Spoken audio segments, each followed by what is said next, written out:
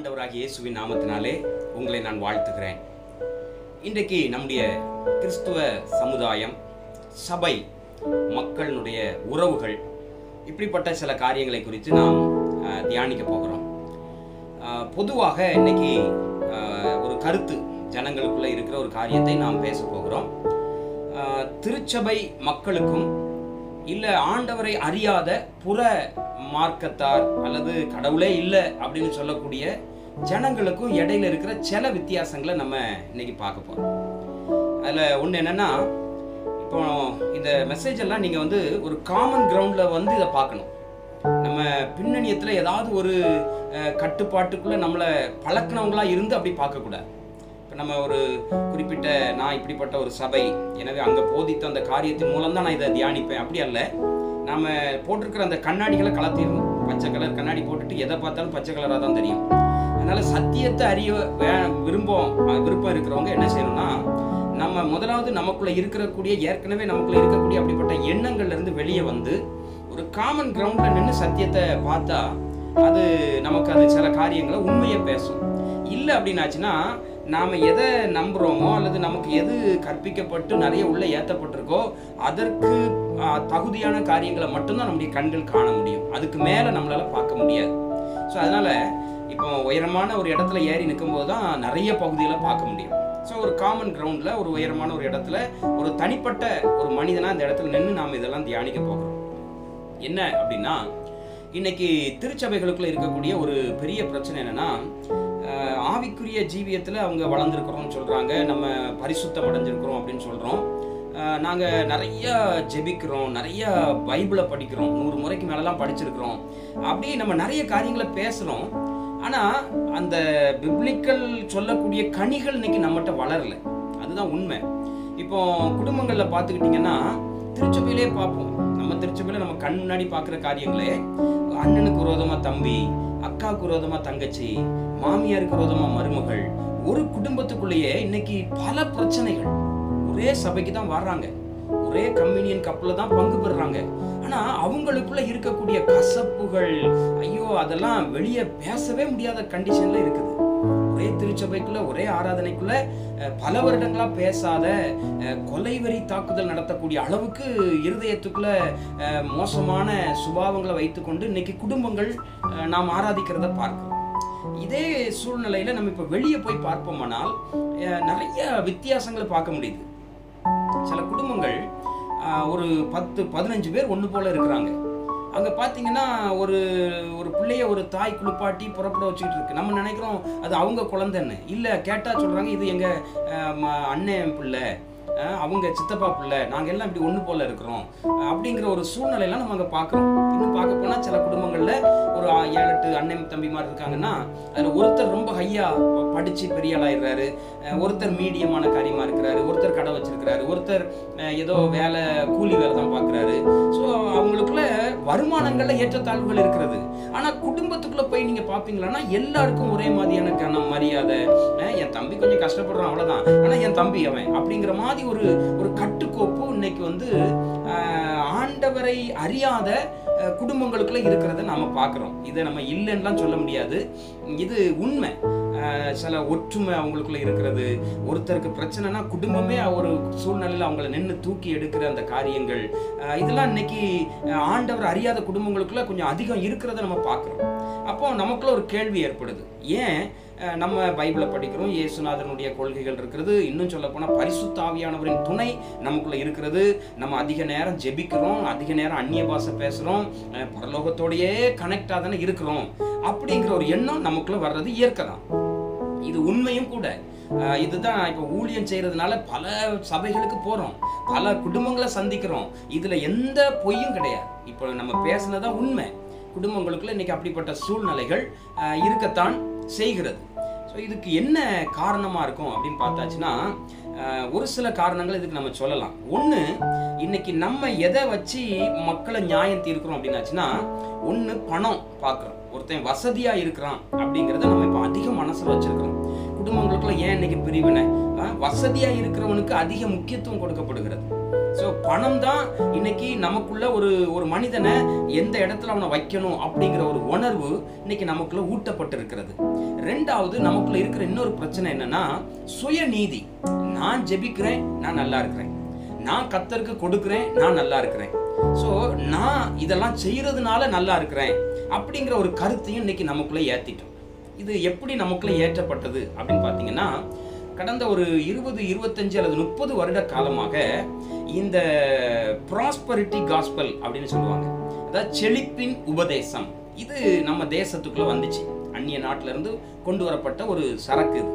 So இதை நம்ம அதிகமாக பேசுறதுக்கு காரணம் என்னன்னா இதை பேசினா ஜனங்கள் கவரப்படுகிறார்கள். ஒரு சபையில ஆசீர்வாதங்களை அதிகமா பேசுகிற சபைகள் பாருங்க நிரம்பி கொட்டும். அங்க கார் பார்க்கிங்ல கார் வழி இருக்காது. பைக் பார்க்கிங்ல நிரம்பி கொட்டும். அங்க வந்து ஜனங்கள் அலமோதுவாங்க. காரணம் என்ன? நீங்க ப்ராஸ்பரிட்டி நீ ஆசீர்வாதமா இருப்பதே தேவ சித்தம். தேவன் இந்த பூமிக்கு வந்து தன்னை தரித்திரனாய் ஆக்கினதற்கு காரணமே நீ பெரிய கோடீஸ்வரனாய் மாறுவதற்காகத்தான். என்கிற டைப்ல இந்த உபதேசத்தை நம்ம அதிகம் கொடுக்கறதுனால இப்போ ஒரு முப்பது வருஷமா நம்ம திருச்சபை மக்களுக்குள்ள என்ன மைண்ட்ல இருக்கு அப்படின்னா நான் பணக்காரனாய் இருக்கிறேன். பணம் தான் ஒரு மனிதனுக்கும் தேவனுக்கும் இடையில இருக்கிற ஒரு காரியம் அப்படிங்கிற ஒரு எண்ணத்தை இன்னைக்கு அது நமக்குள்ள நல்லா கொடுத்துட்டு எனவே தான் நம்ம எப்படி ஆயிட்டோம்னா வசதியானவர்களை மதிக்கிறோம். இப்போ ஒரு ஆள் நம்மளால ஏற்றுக்கொள்ளப்படணும். அந்த ஆள் நம்ம வீட்டில் வந்து தங்கணும்னா அந்த ஆள்கிட்ட எவ்வளவு இருக்குன்னு பார்க்கணும். ஸோ அந்த ஆள்கிட்ட எவ்வளவு பலன் இருக்கு அந்த ஆள்கிட்ட எவ்வளோ பொக்கிஷம் இருக்கு அதன் அடிப்படையில் தான் நாம இன்னைக்கு அவரை மதிக்கிற காரணம் நமக்குள்ள ஏற்றப்பட்ட இந்த ஒரு துருபதேசம்.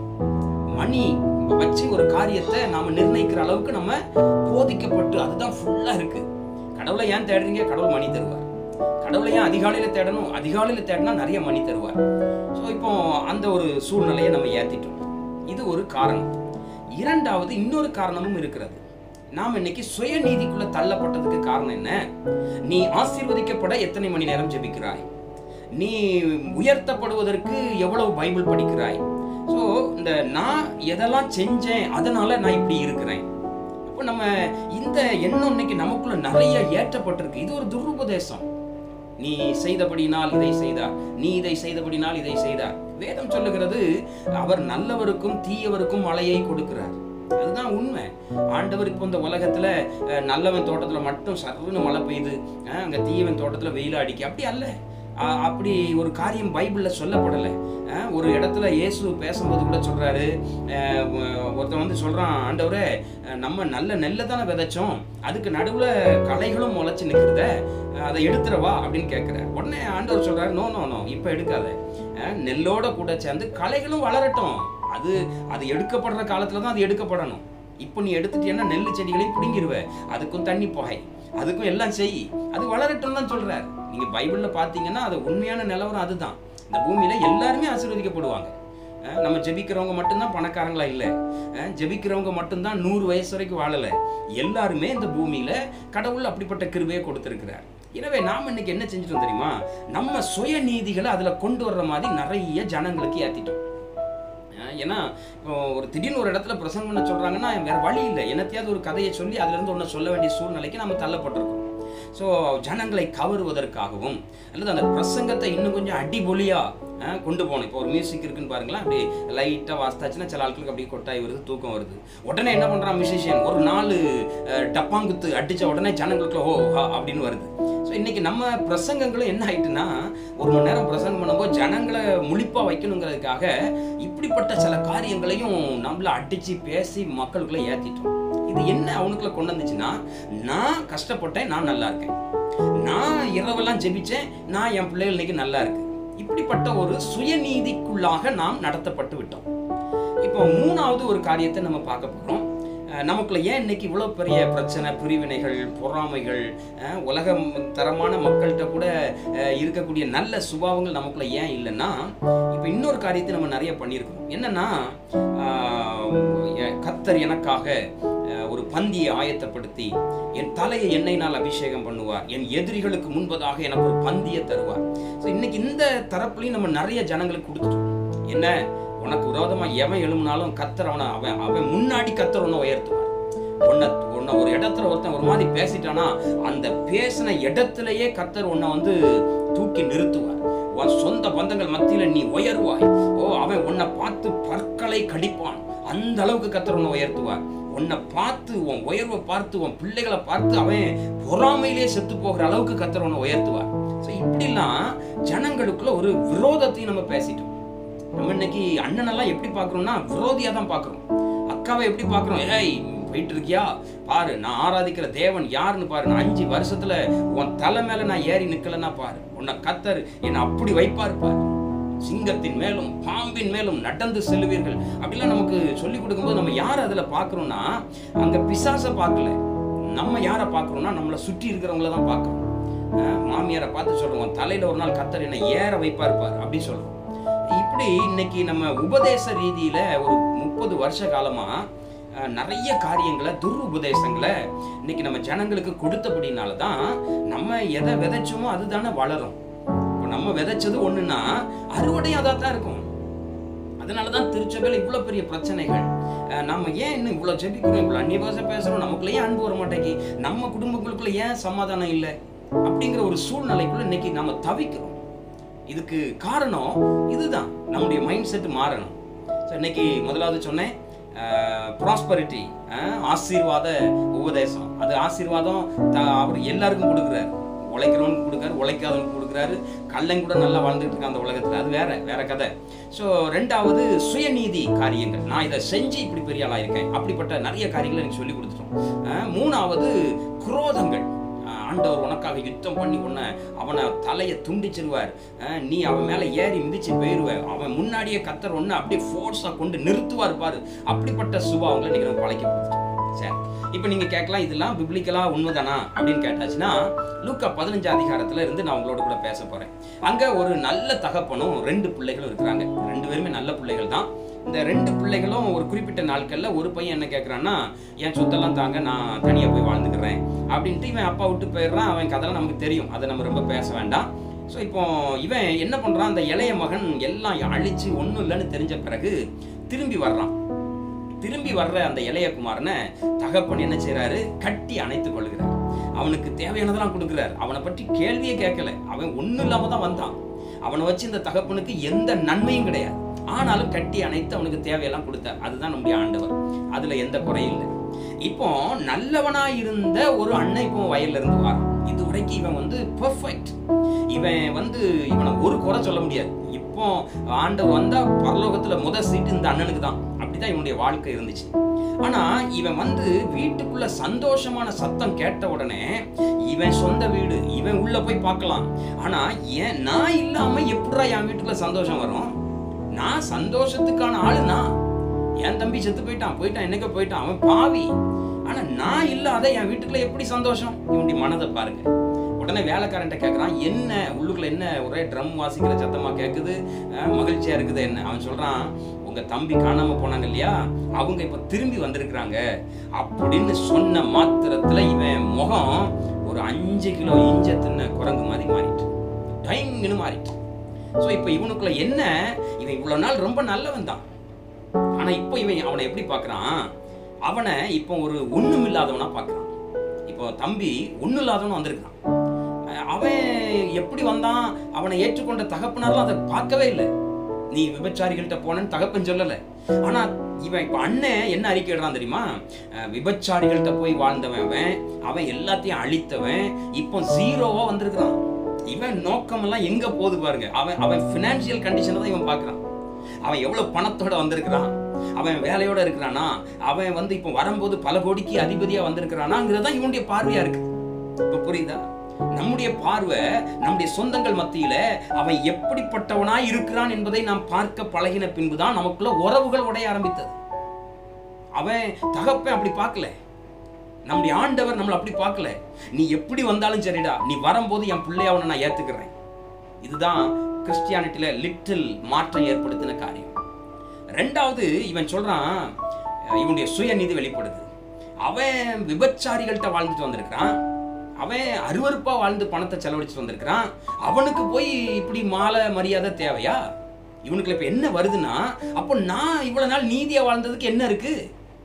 இவன் நீதியாக வாழ்ந்ததை இப்போ போட்டு உடைச்சிட்டான். இவனும் அவனை விட கேவலமாக தான் வாழ்ந்திருக்கிறான். இவனுக்கு இப்போ என்ன? நான் இவ்வளோ நாள் நீதியாக வாழ்ந்தனே ஒரு கண்ணு குட்டியை கூட நீர் எனக்கு தரலையே அடிச்சு சாப்பிட. ஆனா இப்போ அவன் வந்தானோடனே எவ்வளவு பெரிய காளையை அடிச்சு எல்லாத்துக்கும் விருந்து பண்றீங்க? அப்போ இவனுக்குள்ள என்ன வந்துட்டுனா நான் நல்லா இருந்தேன் இவ்வளவு நாள் உங்ககிட்ட இருந்தேன். என்னுடைய சுயநீதி இப்போ வெளிப்பட ஆரம்பிக்குது. அவனுடைய பரிசுத்த தன்மை இப்போ வெளிப்பட ஆரம்பிக்கிறது. ஏய் நீ உன் நீலாம் என்கிட்ட வரவே முடியாது.